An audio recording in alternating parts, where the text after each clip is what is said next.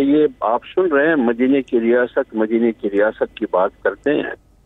تو مدینے کی ریاست کے حکمران کی اگر آپ اس طرز پہ ریاست بنانے کی کوشش کرتے ہیں، فرض کرے آپ تیرہ مہینے میں وہ ریاست نمونہ نہیں دکھا سکتے ہیں، وہ آسان ایک نمونہ تو دکھا ہے۔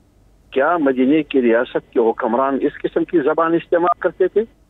قرآن میں تو صورت الحجرات میں مدینے کی ریاست کا حکمران جناب رسول اللہ علیہ وسلم پر جو قرآن نازل ہوئی ہے، اس میں تو ان کو کہا گیا ہے کہ ایمان والوں کو یہ بتاؤ کہ کسی کا تمسخر مت اڑاؤ، کسی کا مذاق مت اڑاؤ، کسی کو گالی مت دو، کسی پر بیجا الزام مت لگاؤ بیجا ناموں سے بیجا القابات سے ان کو موسوم نہ کرے پنجاب میں یار ڈینگی تو مولوی نہیں ہے نا، یہ ڈینگی آپ کنٹرول نہیں کر سکتے ہیں، یہ ڈینگی کہاں سے آیا؟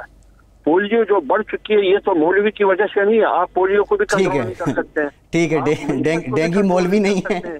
یہ بات آپ کی بالکل ٹھیک ہے۔ نا یہ آپ بتائیں آپ کر کیا رہے آپ کی پنجاب میں پینتیس ترجمان ہے پینتیس۔ جی جی۔ آپ پینتیس پنکچر کی بات تو میں نے سنی تھی لیکن یہ پینتیس ترجمان کی بات میری دفعہ میں سن رہا ہوں۔ ٹھیک ہے۔ ریاست میں۔ ٹھیک ہے اچھا حافظ صاحب آپ کا نقطہ نظر آ گیا یہ میرے خیال جو بنیادی مسائل ہیں جن کی جانب وہ نشاندہی ہم خیال ترکئی صاحب سے ذرا موقف لے لے کہ ایک تو یہ ہے کہ یہ ڈیزل کی اصطلاح کیوں استعمال کی گئی؟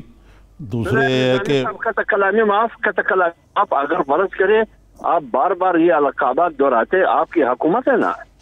آپ کی حکومت ہے آپ اٹھا کے نا اگر انہوں نے کرپشن کی ہے تو اٹھا کے کتابیں فائدے اٹھاؤ کھولو۔ جی